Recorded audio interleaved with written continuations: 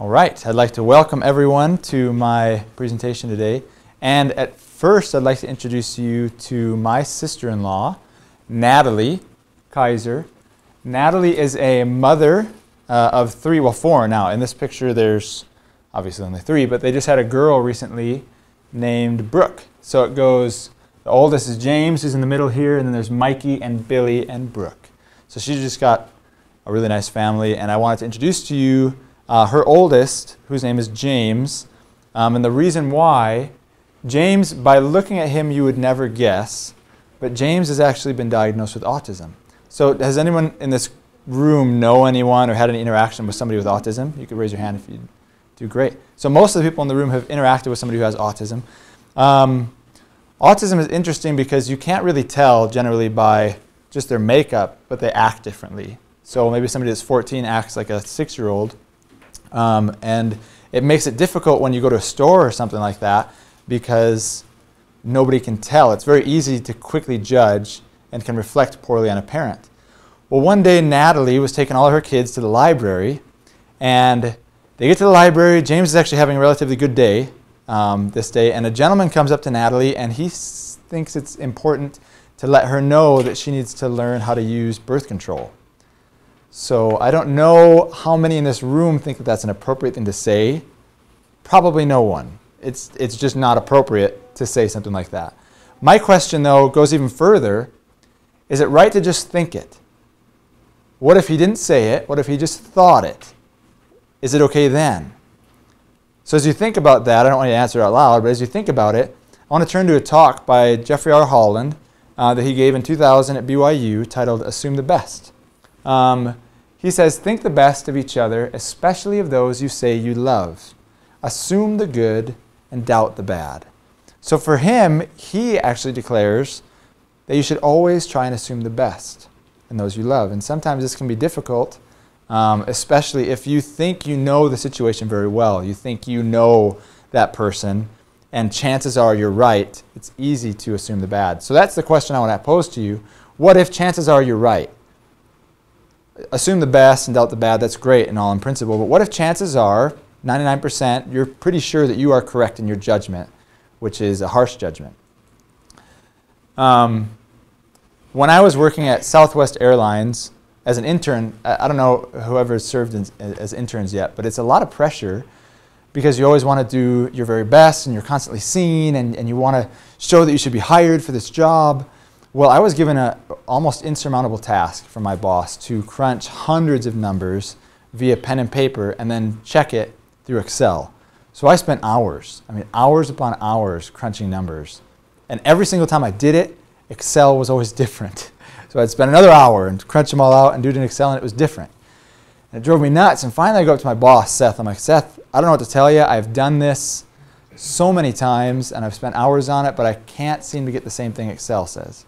Now, if I were to, if you were to step out of this situation, and let's say you're taking a quiz, and this was the this was the question, they gave you that background. Now they say choose between A and B. Who do you think is right? Do you think Excel is correct, or do you think I am right with my little pad and paper using a Google calculator? Who in this room would choose A?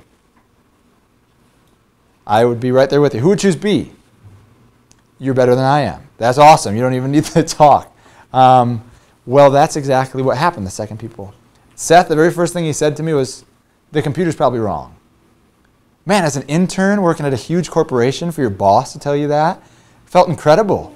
I felt like I got the people that, um, in this particular case, matter most. They're in my quarter, even when chances are I'm wrong, they still assume the best and doubt the bad in me. And it felt so good to know that. I felt basically like this guy, a little less handsome, and with my top button buttoned. But that's how I felt. I felt like I got people supporting me, people backing me up. And that's what it's all about. Even if the odds are you're probably right, what does it hurt to, to reach out a hand and to, and to assume the best in somebody? Then the next uh, experience I want to give was actually given by uh, Sister Christofferson. So I don't know if anybody got to go to Elder and Sister Christofferson's talk when they came, but when they came here, she gave an experience of when she was in South America. Has anyone here been to South America? A lot of times if somebody served a mission, three out of four times that was in South America. So that's why I ask. I served in South America. In the streets there, though, a lot of times there are street vendors who kind of almost rush the car when you get to a stoplight and they sell candy and they try to wash your windows and all this stuff. Well, when they were in South America, um, they, they came to a stoplight and this young lady started coming out trying to sell things and she was wearing super tight pants, a really low collar neckline on her shirt uh, with one side hanging off her shoulder with a kind of strap showing and you know just not really what you'd find when you go to sacrament meeting or something like that. So the first thing Sister Christofferson thinks is, oh man, that poor lady, if only she knew about modesty, if only she knew how to dress and, and how to, you know, kind of conserve her body. And as soon as she started thinking thoughts like that, she was reprimanded. She had a, a, a, a more divine, heavenly, bigger than herself thought that rushed into her mind that said, You have no idea. If you were to sit with that girl for five minutes and just talk and listen, it would change your life forever. I love that daughter of mine. And it just, it changed her perspective. Like even when um, you see somebody and visually everything makes sense, that person just living and not in a correct way, she's, she was still wrong, according to that divine inspiration. And she changed her outlook on people. Now, the point of this message, the point that I'm trying to get to with assuming the good and out of the bad, is I would like to see more of this, basically. How often do we go by people and we don't know their situation, we don't know their circumstance, but we're pretty sure we do, and we can easily breeze by them? This particular photo went very famous of a man just taking off his shoes and giving it to a girl that was obviously very dirty and could be seen as somebody that might drink away her finances or whatever, but he gave the clothes off his back, well, the shoes off his feet for that girl. He assumed the best that she would um, take care of those shoes and she'd do something better in the future. Or this young lady who's giving money to a young girl, a lot of times we don't want to do that because we're like, well, they're probably just going to spend it on drugs or alcohol or something like that. But assume the best in the people. That's my final end all message. As I'd like to invite everyone in this room to take the opportunity when you have it to assume the best. It's not, there's, no, there's no medication that you could take that just helps you do that and change overnight. It's a process. It's a time after time, trying after trying, and eventually we continue to get better. So I'd like to extend that information or that invitation to everybody assume the best and doubt the bad. Thank you very much.